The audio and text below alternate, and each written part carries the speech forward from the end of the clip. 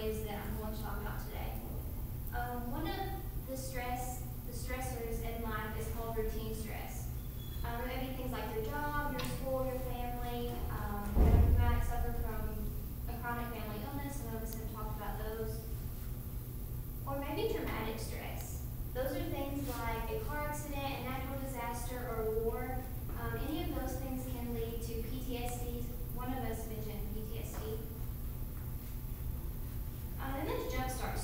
I'm pretty sure we've all gone through this. Maybe some of us more recent than others. Um, but this picture here uh, represents maybe like we have overslept and we're late for class, and so we jump up and it's that like automatic kickstart, jumpstart stresses, um, the stress that gives you the motivation to get up quickly and do things, or maybe this other one. Um, I know here lately I've gone to bed and I, I make a checklist of all my homework and the things that I have to do, and then as soon as I lay down, I'm like, oh yeah, I remembered I have to do that, and it's like that automatic kickstart to the motivation that gets you through. Some ways that you can handle stress um, on your own are to keep a positive attitude, um, or maybe some relaxation techniques. I have uh, actually learned a few. I serve as a counselor in the summer uh, for a church camp, and a lot of those kids that come see us have actually they're from really bad homes. They have really bad home lives, um, and so we we talk to them about relaxation technique techniques and keeping a positive attitude. Um, some of them that I learned are just simply maybe like meditating, not so much from like a spiritual standpoint, but just to your mind and um, focus more so on what you need to do to get through whatever your situation is.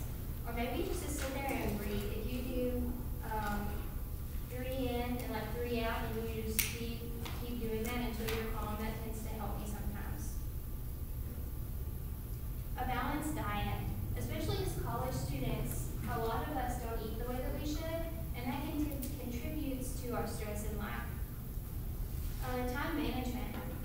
We all have have issues with time management, I'm sure. It seems like we have so much to do and so a little time to do it. So if we can um, set goals to do things in a timely manner, then maybe things will not be so stressful in the end.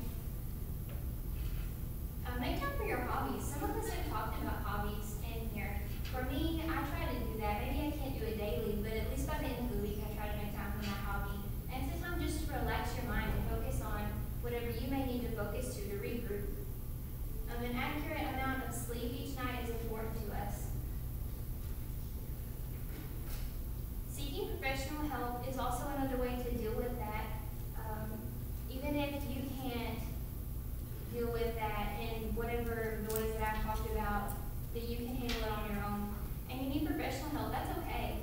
A lot of us do not see that as a way to cope because maybe we don't want to seek out that professional help. But that's always okay. You can see a psychologist or a counselor, and maybe not even professional help, but maybe you just need someone to talk to, and you've got a friend who will listen, or a family member who will listen to you. Uh, again, it's not breaks you down, it's the way that you carry it.